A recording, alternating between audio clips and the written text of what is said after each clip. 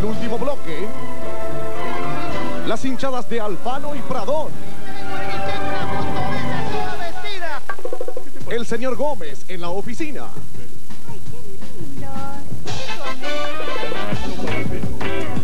Y los mejores momentos que obviamente no salieron al aire.